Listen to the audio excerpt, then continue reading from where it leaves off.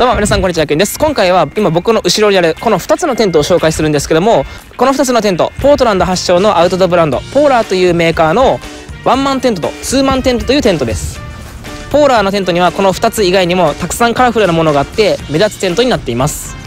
ということでこれからこのポーラーのテントを詳しく見ていくんですけどもいやまずポーラーってどんなメーカーなんて思う人たくさんいると思うんでまずはポーラーの紹介を少しだけしたいと思いますポーラーはアメリカのオレゴン州のポートランドで2010年に生まれたブランドです。ポートランドで検索するとアメリカで住みたい街ナンバーワンと出るぐらい人気の街で外区は通常の半分の広さで作られており歩いて暮らせる街として設計されています。そのためアメリカでは珍しく車よりも自転車や公共交通機関での移動が盛んな街として知られています。ポーラーはサーフィンやスケートスノーボードを扱うストリート系のブランドです。車ではなく歩いて過ごせる街だからこそ生まれたブランドなのかもしれませんね。このポーラーもこれから日本でいや世界中で人気になっていくブランドだと思います。ということでポーラーとは一体どんなメーカーなのかという紹介でした。早速ですがそんな波乱万丈のブランドヒストリーを持つポーラーのワンマンテントとツーマンテントを紹介したいと思います。この動画ではこのワンマンテントを基本に紹介していくんですけど動画の後半にこのワンマンテントとツーマンテントの比較動画もあります。ということでまずはこれらのテントの特徴をさらっと紹介したいと思います。一つ見た目がとにかく派手です。茶色や緑色などアースカラーの多いキャンプ場では目立つこと間違いなしでしょう。色の種類はめちゃくちゃたくさんあるので気に入ったものがあると思います。2これらのテントの大きな特徴はこの入り口の形ではないでしょうか。一般的なテントはこのように関門開きやかまぼこ型のものがほとんどですがポーラのテントは長方形の形でくり抜いたかのような形をしています。サイドのしまえばこのようにシュッとした形になりフライシートのデザインだけでなくテントの形も他とは被らないかっこいいデザインです。3もう一つの大きな特徴がテントなのに天窓がついているということです。ワンマンテントには1つツーマンテントには2つの天窓がついています。天窓については後で詳しく説明します。4このテント屋根に2本のポールがあります。このサイズのテントでは1本のポールがあるのは珍しくないですが2本はまあ珍しいと思います。2本あることでこれ本当に1人用テントなんてくらい広く感じます。5インナーテントの屋根が可愛いということです。赤と黒のチェック入れの春色だとこんな感じ。黒だとこんな感じでフライシートをかけない状態でも可愛い見た目をしているのでカンガルースタイルで使う方にもおすすめです。6付属のペグはアルミ製でオレンジ色でポーラのロゴが入っています。しかもなんと長さ2 3センチと長いものが付属しています。このサイズのテントの付属ペグはほとんどが1 4センチか1 8センチのものですがポーラーは長いものが付属しています。ペグが長いとぬかるな場所でも奥まで刺すことができるのがいい点です。7補修パーツが付属しています。黒なら黒色が春なら春の生地が付属しているので破れた際の修理もデザインを損なうことなく行います。8つ目の最後の特徴は自立式のテントなので芝生の上でなくコンクリートの上などどこでも設置できるということです。僕視点での弱点や知っておくべき点は5つありました。1つ目はスカートが短いということです。このようにテントをピンと張るとスカートがほとんどない状態になります。2つ目はフライシートの接続が面倒だということです。多くのテントがインナーテントフライシートの接続にバックルやゴムフックを使用しています。しかしポーラーのテントはフライシートもこのようにポールに接続します。3つ目はこのテント別売りのポールを使うことで屋根を作ることができます。しかしポールを刺す部分はただの輪っかでありハトメがされていません。まあ、輪っかでも全然ポールを立てることはできるんですけど、まあ、ハトメの方が組み立てもしやすいし安定もするかなと思うんですけど、まあ、ここも一応知っておくべき点かなというふうに思います。4つ目は天窓についてです。天窓は太陽の光の当たり方によっては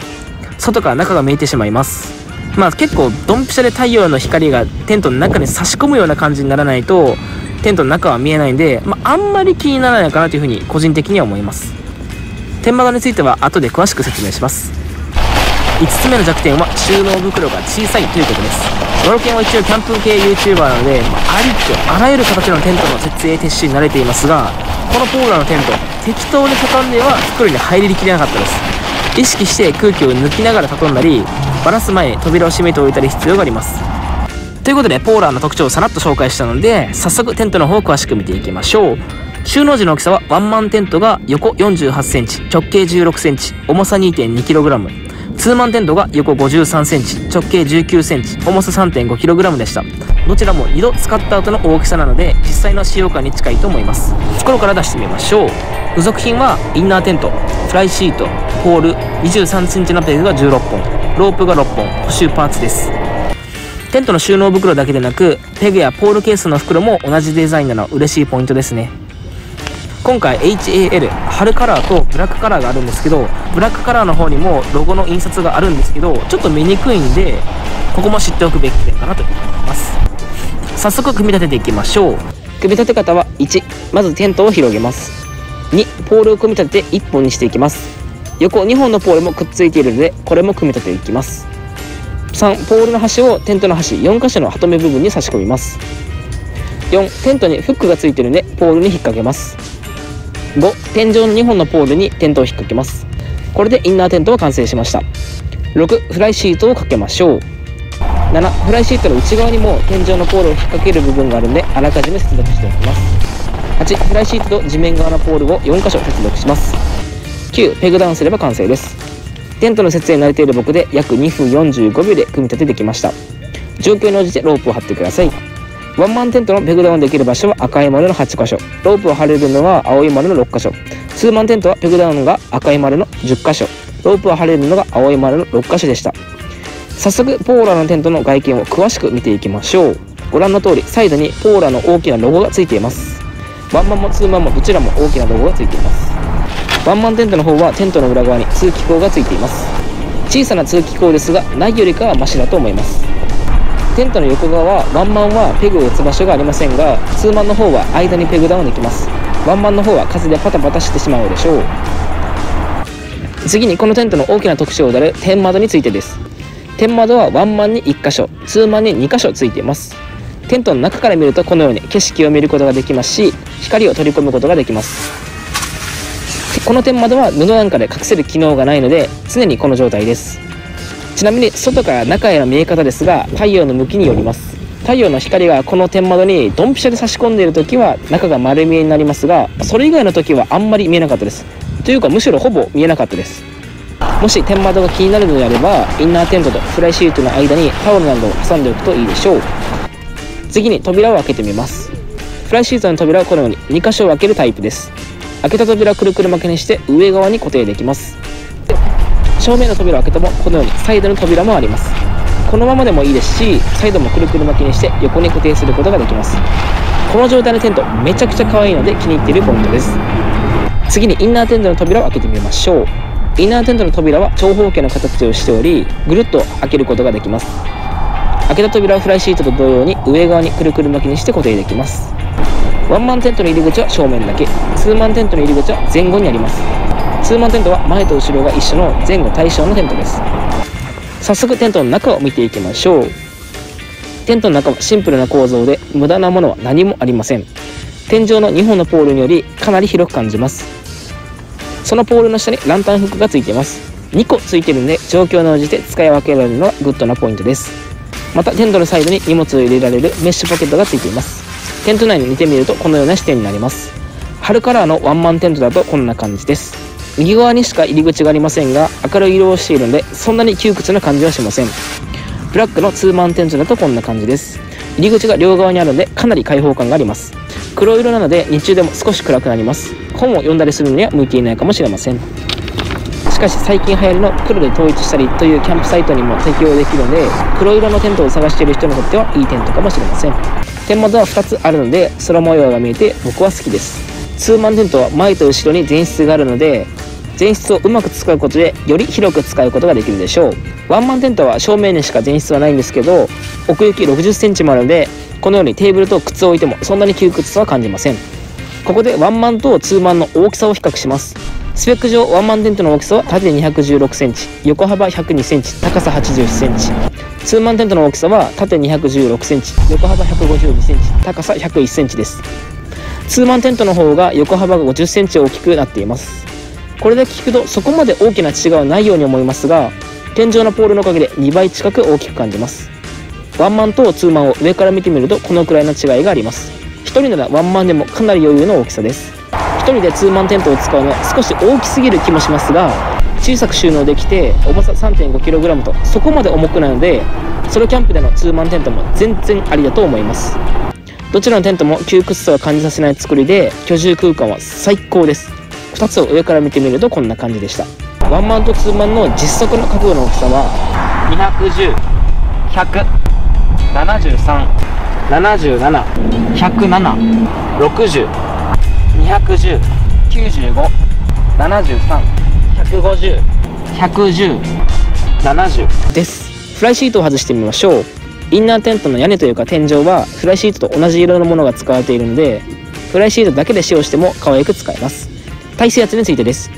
フライシートは 30mm のポリリップストップ PU コーティングで耐水圧 2000mm 床は 210T ポリリップストップ PU コーティングで耐水圧 3000mm となっています。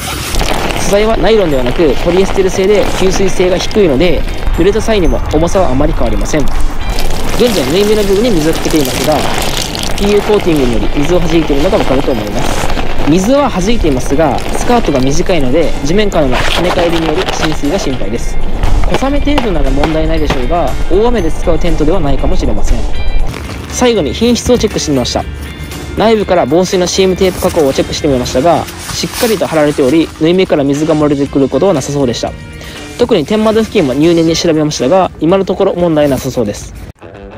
ほいところがかったでしょうかポーラのワンマンテントとツーマンテントの紹介でした。ということで、えー、アフタートークなんですけども、えー、僕はですねめちゃくちゃこのワンマンテントに出会ってめちゃくちゃ興奮しました。っていうのも僕、まあ、チャンネル登録者数10万人超えて、まあ、YouTube 歴6年目で結構テントとかキャンプ道具ってメーカーさんからいただくことも結構あるんですよね。だから最近ここ1年ぐらいテントを自腹で購入したことなかったんですけど久しぶりにマジで半年か1年ぶりぐらいに、え自腹で購入したテントでございます。黒い、えー、ツーマンテントの方はポーラさんに連絡をして、協賛いただいていただいたものなんですけども、えー、このワンマンテントは正真正銘僕が自腹で購入した、えー、もう惚れて購入した一つでございます。でえー、っとまあ何がいいのかっていうと、まあ、正直形ですね。もうこのポーラのテントはもうこのデザイン形が全てだと思います。この、えー、っと入り口の形もう最高に可愛いしこの横の形このこっから見るこのテントの形がもうすごい可愛い。ここがね変にこうドーム型みたいな感じでこう緩やかな傾斜になってるわけじゃなくてカクカクカクってなってるのがもうすごい可愛いと思います、まあ、正直そこだけでポーラのテント、えー、全て語れるんじゃないかなと思います、えー、形だけじゃなくてこのデザイン、えー、赤と黒の春色、えー、マジで可愛いです。もう本当にあのもう今ねキャンプ場にいるんですけどもベージュの単色とか緑とかそういったアースカラーが多い中見てください。この赤いチェック柄。ここ今キャンプ場でこんなにたくさんいるけれども赤のテントなんて一つもないですよ。赤のテントはさそらあるかもしれんけどこのチェック色のテントとかないじゃないですか。最高に可愛いです。しかも天窓付きよ。でこの大きな、えー、目のロゴ付きでもう最高に可愛いです。で他に、えー、いい点が僕が気に入ってる点が僕よくバイクツーリングするんですけどテントのこの収納袋もこの同じ色なんですね。これ春から赤と黒のチェック色なんですけど例えばバイクとかチャリンコでキャンプする時ってテントを、えー、っとシートバッグの上とかシートバッグにくくりつけるんですよ。要するにバッグの中に入れたりすることないんでこのえっと、収納袋が外に見えて外から見えるような状態なんですけどこの赤い収納袋がそのテントがえ、っとバイクとかチャリンコにあったらめちゃくちゃ可愛くないですか？普通さ、えー、っと地味な緑色とかさ、えー、っとベージュ色の、え収納袋がバイクの上にポンって乗ってるだけなんですけどポーラのテントってのはこの赤いチックのやつがバイクの上にポンってあるんでめちゃくちゃ可愛くないですか？でワンマンテントの方はこのあんまり色少ないんですけどツーマンテントの方はめちゃくちゃそのカラフルな色があってまあ黒もそうだし春色もそうだしもっとなんか黄色とかさ青とかそういったなんか水色とかそういったカラーもあるんでそれがさバイクの上でちょこんだったらめちゃくちゃ可愛くない？そういったテントがバイクの上にあるだけで荷物を積んだ状態のバイクも華やかになるしこのキャンプサイトも、え色があってすごく華やかになるからマジで僕は、えー、気に入ってるテントでございます。本当に買ってよかったですね、えー、他に特徴として気に入ってるテントとしてはやっぱりこの広いっていうのがあると思います。横幅は、えー、7080ぐらいで、普通のソロ用テント、完全な1人用テントとしてはごくごく普通の幅。で横このこっちの身長を寝る方の幅もえー、ごく普通の、えー、大きさなんですけどこの2本のポール上の2本のポールのおかげで、えー、まるで1人から2人用テントぐらいの、え広さを感じます。そうじゃないんだけども、えめちゃくちゃ広いです本当に。この床面積って、えー、っと本当に狭いんですよ。で僕もたくさんこの床面積の、えテント持ってるんですけどまあ狭く感じるんですけど本当にこの天井があるおかげで全然 狭さを感じないのが、えー、このポーラのテントだと思いまして中から見てこの天窓もう最高ですね。こういった僕唯一無二のテントを待っておりました。もう本当に買ってよかったですね、えー、2021年に買ったんですけど2021年買ってよかったテント。第1位は間違いなくこのポーラのテントです。でえっとまあスカート。えー、と動画の中で短いって言ったんですけど短くはない正直。えっとここインナーテントの、えー、バスタブがここまでここが、えっと、防水生地な。んですけどこれよりもちょっとわかるかな。ほら下に、えー、フライシュートが来てるんで短いっていうわけではないです。あの必要最低限のスカートの、え長さはあります。なんでまあ短いっていうよりも長くはないっていう言い方をした方がいいかな。で僕が最近のえー、キャンプテントに関して思うことがあるんですけど多分これねベテランキャンパーさんってのは思うと思うんですけど最近、えー、販売されてるテントのスカートって全部長いんですよ。ワンポールテントもそうやしこういったドーム型テントもそうやしバップアップテントもそうだけどなんどのテントもそうだけど全部スカートが長いよね最近。2021年とか2020年あたりぐらいから発売されてるテントのスカートって全部長くなってるんよ。っていうのもなんかスカートが長い方がなんかいいじゃんみたいな。まくればえー、っと夏でも使えるし、えー、伸ばせば冬でも使えるみたいな感じでスカートが長い方がいいみたいな風潮ちょっとないっすか？最近のキャンプ界隈で。で僕はそれちょっと感じててだから最近発売されてるテントとかもちょっと長めなのかなっていう風に長さ調節ができたり長めであることの方が多いと僕は感じてます。スカートが長いテントっていうのは冬はもちろん、えー、快適に過ごせるかもしれないけど逆に夏は暑く暑いしえー、蒸れるしみたいな感じでデメリットももちろんあるわけじゃないですかね。ってな感じでスカートが長くて長いテントもあればいいし短いテントもあっていいと思うんですよね。なので最近長いテントしかないからどうしなんでやろうなみたいないう風に思ってました。一方このポーラのテントはごくごく普通の、えー、短すぎず長すぎない、えー、スカートの長さをしているんでただただ最近の、えー、スカートが長いだけのテントよりかは、えすごく、えデザインもいいしえっとまあ普通になんか短いっていう言い方よりも普通やからこれ。であのスカートの長さ。普通の長さをしてるんでようやく、え、最近になってオーソドックスな、え、テントに出会えたなというふうに印象でございます。スカートっていうのは長ければいいっていうもんじゃなくて長くてもデメリットあるしみたいな、えー、重くなるしみたいなこういったソロ用テントだったら軽いっていうのが、え結構重要なとこだと思うんでしかもねなんならこうデザインがいいテントやから長くしてずんぐれむくりするよりもこの短くてポーラーっていうこのこのロゴが見えてるぐらいが多分かっこいいと思うんでそういったバランスが取れる、え、テントだなというふうに思います。ということでえー、熱く語りすぎたんですけども、えー、本当に気に入っておりますこのテント、えー、この色デザイン。えー、全てが気に入っております。特にねこの屋根のねこの感じもう最高ですね。バイクツーリングとかチャリンコで、えー、このテントを使ったとしてもここにねバイクを置けばバイクに、えー、っとかけてさこの屋根を作ることができるんでもうバイクツーリングとかももう最高やね。あの 赤いバイクとかさ黒いバイクやったらこれ合うと思うんでテントね最高やなっていうふうに思います。これから結構ね、えー、愛用していきたいなというふうに思っている、えー、テントでございます。もう一個ねちょっと僕言いたいことありました。これね外から見ると赤と黒のデザイン。こんな感じの赤と黒のデザインですけど中から見るとねちょっと青っぽく見えるんですよ。わかりますかこれ？ちょっと青っぽく見えません？ここもね、えー、気に入ってる点です。中から見るとなんか白をオレンジ黄色白オレンジ黄色みたいな。でこの黒いところが黒じゃなくて青く見えたりするんで、えー、本当に可愛い、えー、デザインだなというふうに思います。本当に、えー、気に入っておりますこういうところでポーランドワンマンテントツーマンテントの紹介をしました、えー、購入先、えー、概要欄の方に貼ってるんで気になる方はぜひチェックしてみてください。ということで次の動画でお会いしましょう。ではまた。